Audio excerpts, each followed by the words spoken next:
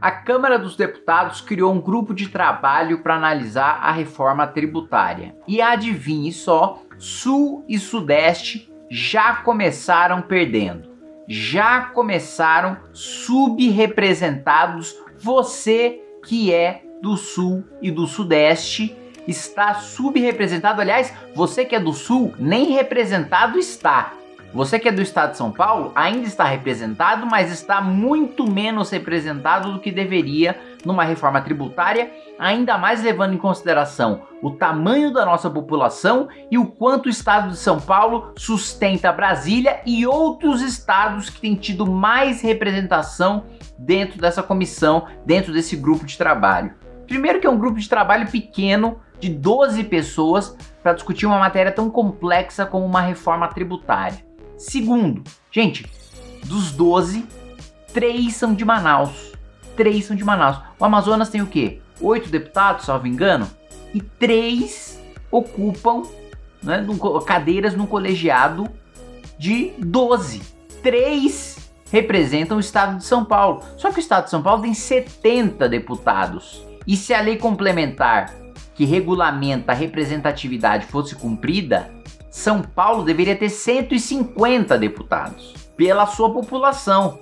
Então o estado, né, que teria em tese 150 deputados, tem três, três deputados representados numa comissão, enquanto outro estado que tem oito deputados e uma população infinitamente menor, com todo respeito ao estado, eu estou falando de dados objetivos aqui. A população é menor, a representação é menor, mas está desproporcional a representação aqui. E sabe por quê? Por causa da Zona Franca de Manaus, que é uma das coisas mais ineficientes e absurdas que a gente tem. Nós vamos falar sobre isso logo depois que você se inscrever no canal, que você clicar no sininho para receber as notificações, que você se inscrever aí no Cata Games, nosso novo canal de games, que você entrar na nossa Twitch e que você também se inscreva nos nossos grupos de WhatsApp para a gente atuar inclusive na reforma tributária, né, retirando os pontos negativos, preservando os pontos positivos e se tiver ponto negativo demais, obstruindo para barrar, né? É, então entre nos nossos grupos de WhatsApp e também, claro, Clube MBL, se você quiser fazer parte dos nossos grandes projetos para este ano e para os próximos anos. Um real por dia, você ainda tem acesso aos mini documentários, aos documentários, aos relatórios semanais e mais as notícias dos bastidores de Brasília. Bom, vamos lá. Zona Franca de Manaus, gente. Né? Você diminui o imposto, né? o imposto tem um peso tão grande no Brasil que se você diminui o imposto numa região, como é o caso na Zona Franca de Manaus, mesmo que a mão de obra seja mais cara, esteja mais distante, mesmo que o mercado consumidor não esteja lá, mesmo que os fornecedores não estejam lá, mesmo que o custo de infraestrutura e logística seja maior, somando tudo isso, a gente paga tanto imposto que vale a pena você ir para um lugar só para pagar menos imposto, mesmo pagando mais caro em tudo mais, em todo o resto. Na prática, é premiar a ineficiência. É patrocinar uma política pública que torna a nossa indústria menos competitiva. Por quê? Porque a gente está jogando uma indústria que poderia ter muito menos custo, que poderia produzir muito mais barato e que, portanto, o brasileiro teria acesso a produtos mais baratos e a gente ainda poderia exportar com a nossa indústria, porque o que a nossa indústria exporta é ridículo. Horroroso, horrível, um espanto, me faz mal. Né? O número, a proporção de exportação da nossa indústria é ridículo. Né? É, compara com o agronegócio, é praticamente inexistente. É porque a nossa indústria não é competitiva.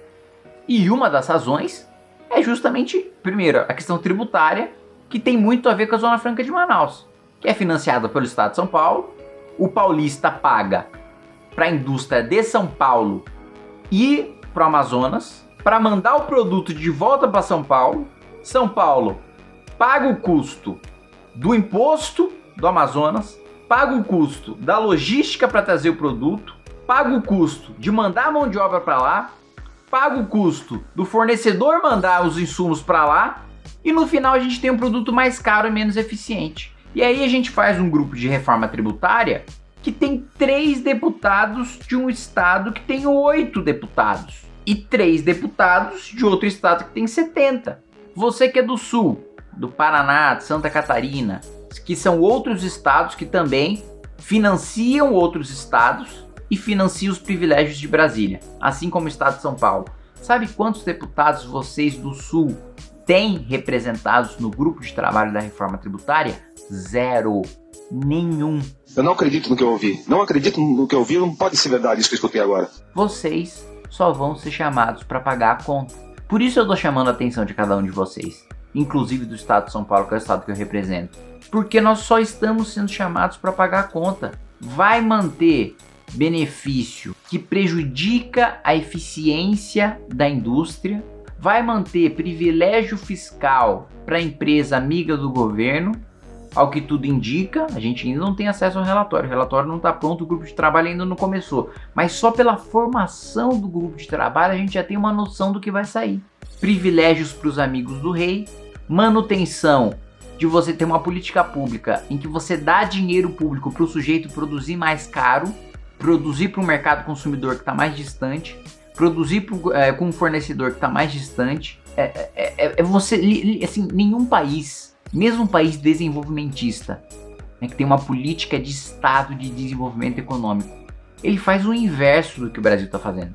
Ele não pega o dinheiro público para pre premiar a ineficiência.